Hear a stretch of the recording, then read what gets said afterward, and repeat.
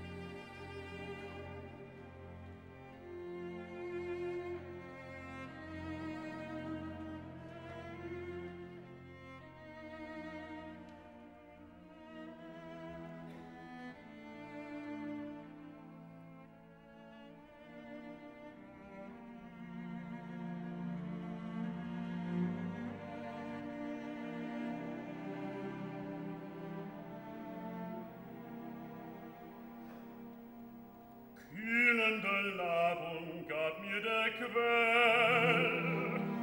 Des müden Last machte er Lauf,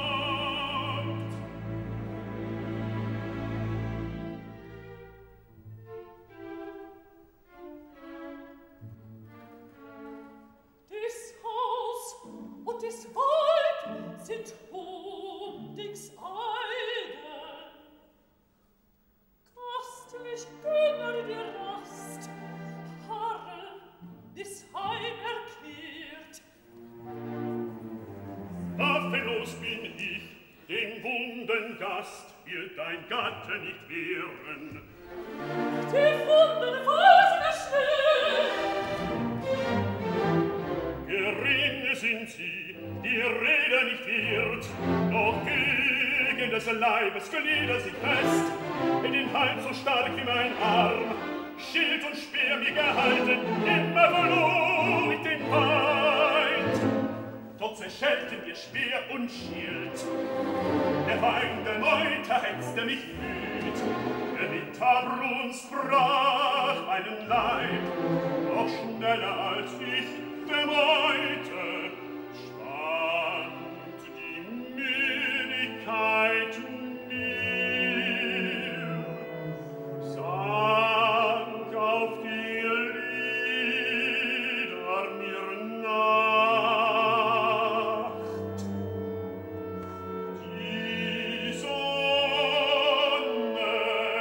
bella